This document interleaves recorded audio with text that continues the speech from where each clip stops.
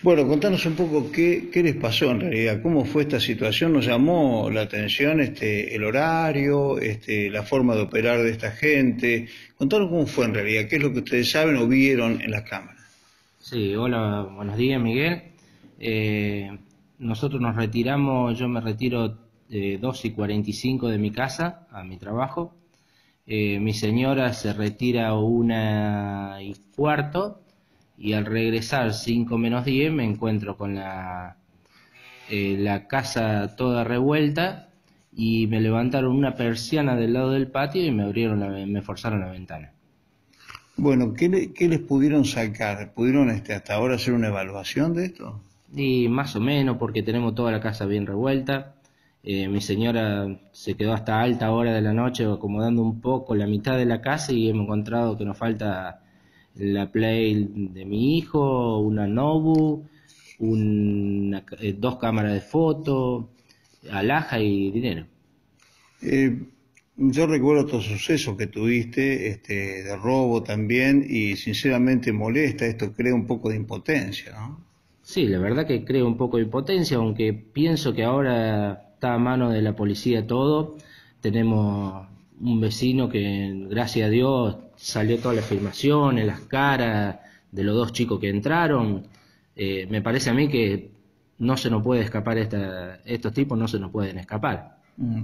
Eh, bueno, eh, da un poco de miedo además porque el horario que fue, ¿no? Que por ahí vos podés regresar a tu casa, eh, tu esposa también por alguna cuestión de urgencia o, de, me olvidé algo y, y te- encontrarlos acá adentro debe ser muy difícil en la hora de una de las calles más concurridas de Leones. Sí, la verdad, porque ellos entraron a las 2 de la tarde, 1 y 59, 1 y 55, tuvo 5 minutos parado tocando timbre en mi casa acá para ver si salía alguien. Y entraron bien a las 2 de la tarde adentro y salieron 2 y 43, las cámaras dicen.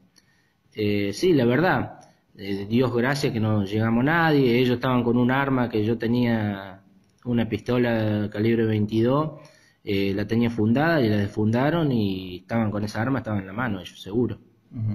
Este, bueno, no rompieron nada para entrar, simplemente forzaron una abertura allí. Sí, le levantaron una persiana, forzaron una ventana y se retiraron por la puerta del frente. Bueno, este, causa estupor ver con la tranquilidad que actuaron, ¿no? No, da una indignación porque entraron como si nada fuera y se retiraron caminando los dos como si nada fueran. Eh, se ve dos minutos antes de entrar, se ve que viene una mujer caminando y se ponen los dos con un celular así como si escribiendo un mensaje. Eh, no, un espectáculo, cómo se manejan los tipos, con qué frialdad. Bueno, este, esperemos que encuentren algo, este, y que ojalá la policía actúe rápidamente. Con estas imágenes tienen mucha delincuencia reconocida, ojalá los puedan encontrar. Ojalá, ojalá, yo pienso, creo que la policía se está moviendo, se va a mover. Eh, hay filmaciones, también tenemos la cámara en la esquina de la municipalidad que ahora van a tomar los datos a ver qué pueden ver. Y cámara de vecino que también tomaron su filmación. Listo, estamos vuelta.